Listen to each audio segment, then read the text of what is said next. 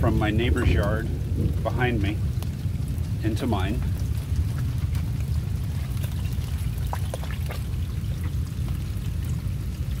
And I don't think this is supposed to be the way it is. I think it's supposed to be draining out.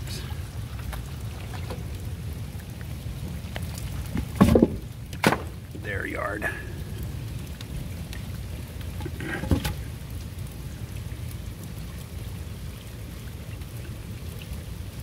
So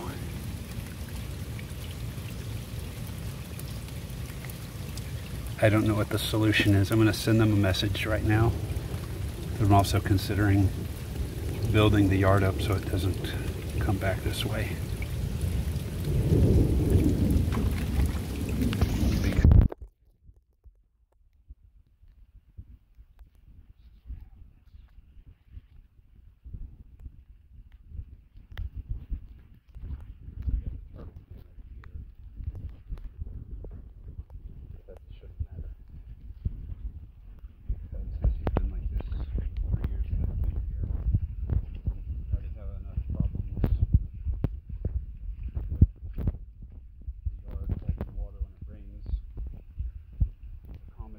water.